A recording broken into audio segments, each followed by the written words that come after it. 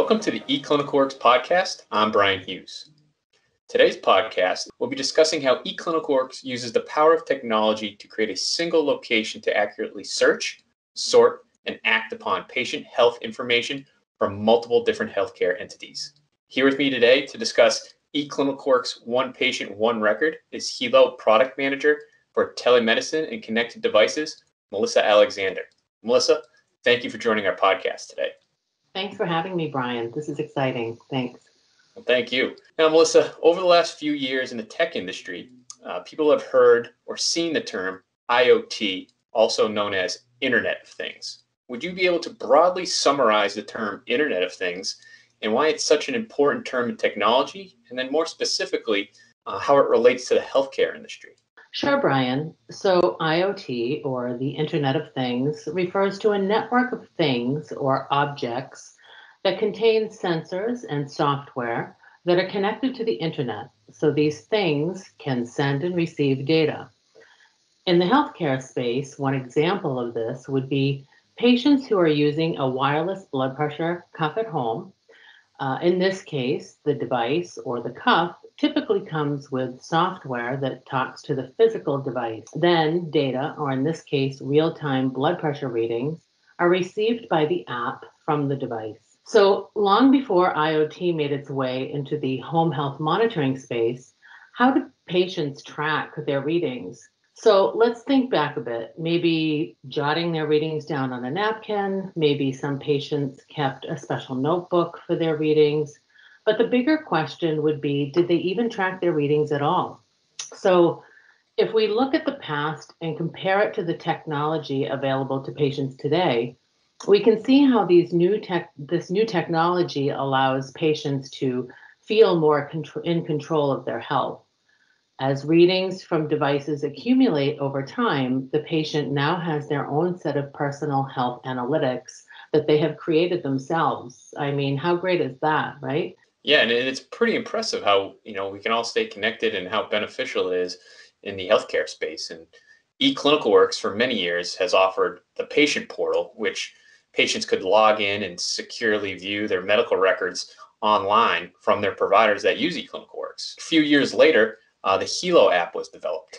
Uh, could you provide could you provide us a little brief history of the healow app and, and why it's such a widely adopted and downloaded healthcare app? Sure. So the healow app was first introduced and made available to our all patients having a patient portal account back in January of 2013. So while our patient portal was was and still is accessed by millions of patients each year, it was imperative to indu- uh, introduce the healow app, which runs on a smartphone, of course, to support portability. The healow app, which well over 10 million patients have downloaded to date, allows patients to access their health records and reach their doctor anywhere, anytime, which is critical for patients. From the healow app, patients can communicate instantly with their practice by sending and receiving messages.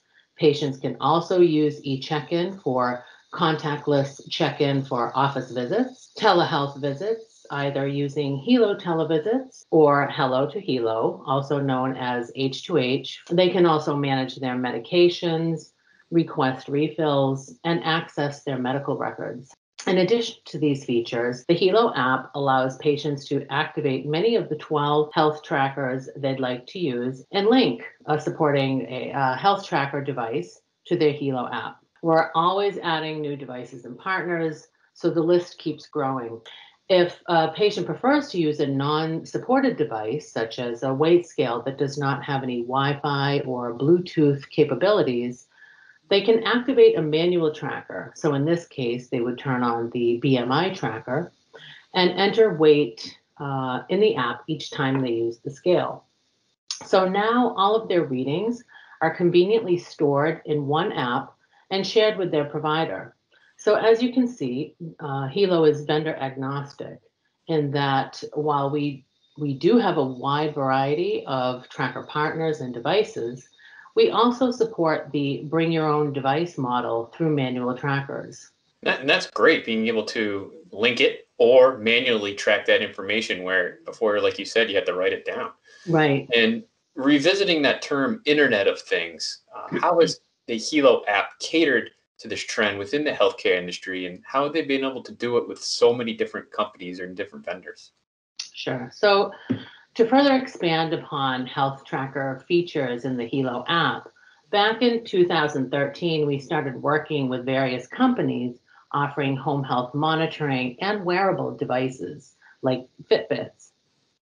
These partners support OAuth protocols, which approve one application interacting with another on behalf on your behalf uh, without giving away your password.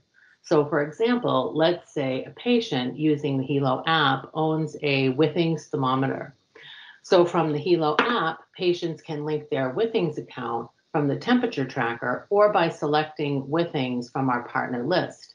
Once a selection is made, the patient is presented with the Withings login screen, which requests to share the patient's Withings data with healow.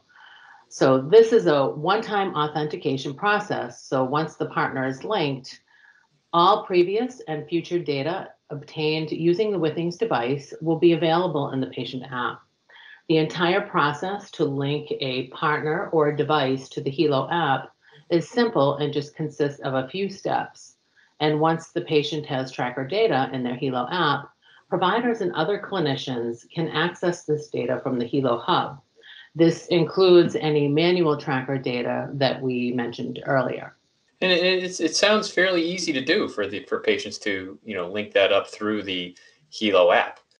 Now, there's a lot of data that's that's coming through, and to the provider to be able to see. What are what are some of the benefits for the for, for the provider getting this supplemental patient data within the EHR? So, for patients with a chronic condition or comorbidities, providing insight to clinicians on what's happening outside of an office setting is critical.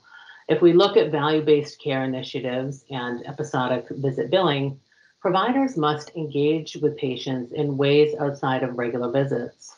Reviewing patients' healow tracker data from the healow Hub will allow for more flexibility and value in how providers treat and care for their patients. So, an example of this may be a patient with CHF who is experiencing shortness of breath or swelling of the legs, and they happen to call the office after hours.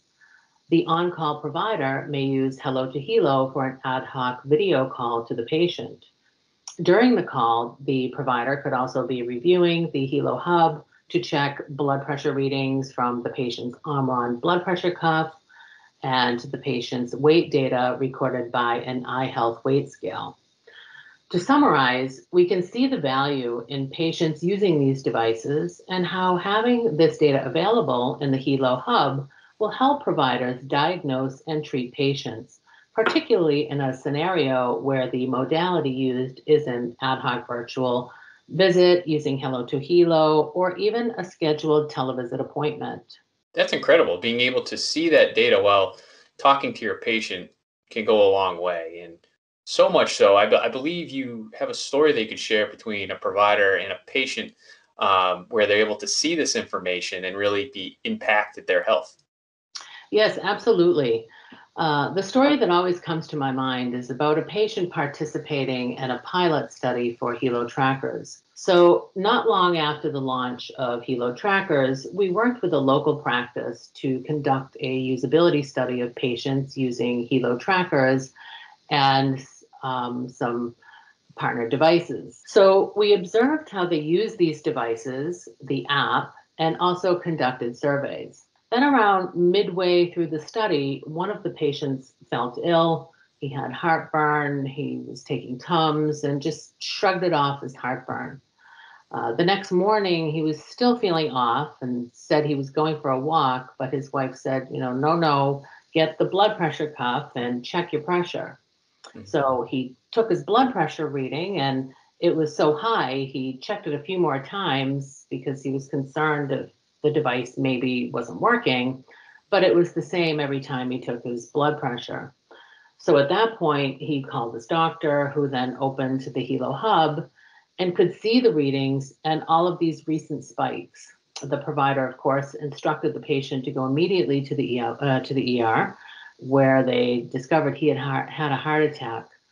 So while I learned about when I learned about what happened, I was so sad because I had gotten to know this person through the study, but at the same time, I was very grateful for how this device and, and the healow app assisted in saving this patient's life. Well, thank you, Melissa. That was an incredible story. And it really shows, you know, not, not just getting information from, you know, hospitals or other locations, but actually getting it from the patient and making it impactful and helping providers with taking care of their patients. Exactly. Well, Melissa, thank you so much for joining the podcast today. Oh, well, thank you. Uh, again, thanks for having me. This is great. And thank you to the listener. You can find other podcasts like these on iTunes, YouTube, my.eclinicalworks, or on our website at eclinicalworks.com. On behalf of the podcast team, thank you for joining today.